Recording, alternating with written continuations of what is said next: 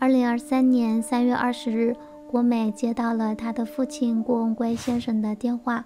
郭美通过郭先生的盖特账户发布了消息，介绍了郭先生最新的情况。以下内容是郭美发布的信息：战友们好，我是郭美。接上次电话之后，几分钟前终于又接到了爸爸打来的电话。他状态非常的好，现在可以自由的打电话。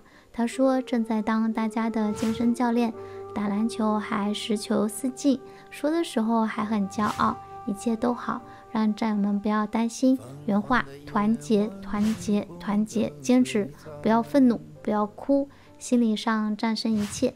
他笑声爽朗，语气自信放松。这几日让各位煎熬了，感谢你们每刻的陪伴和坚韧。有新消息会及时告知，谢谢。